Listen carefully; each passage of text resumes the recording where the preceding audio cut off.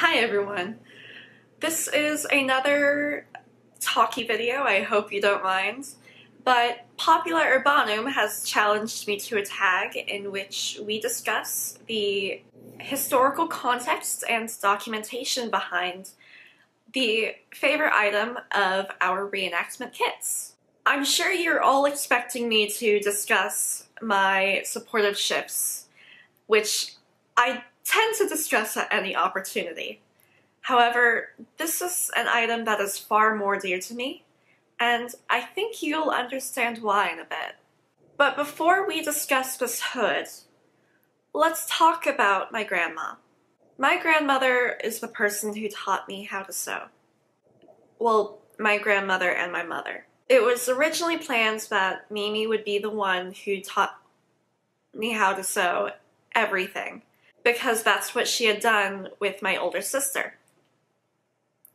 However, when I was in third grade, after a long fight with leukemia, my grandmother passed away. And my mom, as the only daughter and the only one who had learned how to sew in her generation, inherited all of my grandmother's sewing supplies. For a very long time after her passing, they sort of just sat in our spare room untouched. That is until I decided to join the SCA. Once I had done that, my mom and I went into the sewing room and together we made my first bit of garb for the SCA. I don't wear it anymore, but I still have it because, I mean, I made that with my mom. I can't just get rid of that. And that's something you sort of run into fairly often when you join the SCA. You have pieces of kit that aren't necessarily perfect for your time period, nor are they historical whatsoever sometimes, but because they're from friends or loved ones, you keep them because they're dear to you. I have so many items like this. I have rings. Actually, no, my rings are perfect. Martin, your rings are perfect for me. but I have a circlet from when I received my AOA that because the king and queen didn't have any to spare when I was getting the awards, my friend Eleonora came up and presented me with hers. I have a pouch that is not very fancy and it's not historical whatsoever. It's chrome leather, it's riveted instead of stitched. But it was presented to me from the king after I had walked like three miles to the event site. Walked, and this was my first event in Ansteorra. And then there's this fabric. My grandmother picked up this fabric 30 years ago when my mom was pregnant with my older sister, and she was living in Scotland at the time. This isn't fabric I can just buy more of. I don't know what mill it's from. I don't know if it's even in production anymore, but it's wool that my grandmother bought and laundered and never found that perfect project for. This year, when my mom was talking about wanting a tartan skirt to show her Scottish dogs in, I finally found that perfect project. And for Christmas, I gave my mom that skirt. But I still had more of it. And so I got this idea of why not get a little bit of my grandmother in all of our wardrobes. And that's where this hood came. For Christmas, my parents gave me Medieval Garments Reconstructed, which is a lovely book. I have that and the sister, and I decided I would make a hood out of it. Now, this hood is perfect for the 14th century, as we know, but most of the documentation for women's hoods were tend to be open-fronted or buttoning in the front. So this is very clearly a men's style of hood.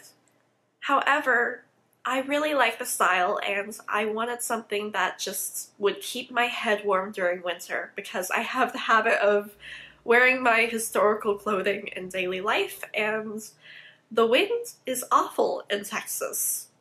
The wind and rain is awful in Texas. And I realized while I was filming the Wanderer video and was out in the middle of the night in pouring rain that I really needed a hood. So this hood isn't perfect for my impression whatsoever because it's a men's hood and I am not a man. And when it comes to plaid and garments, I typically see them on parti-color garments. But I think the sentimental value of the fabric itself was more important than being able to be documented.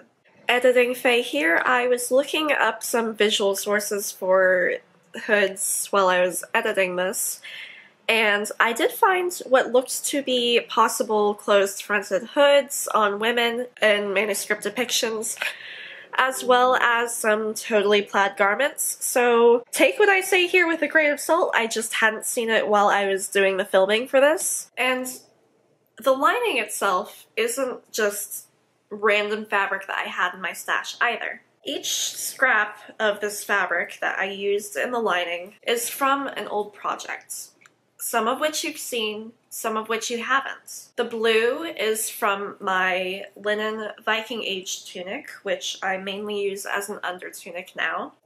The gray wool around the opening of the front is the fashion fabric for a Bocksten man tunic I sewed for my friend Logan, who some of you would know as Arm the Armor on Tumblr and Instagram he needs to send me photos of this cloak because I sewed it for him two years ago and he still hasn't sent me any.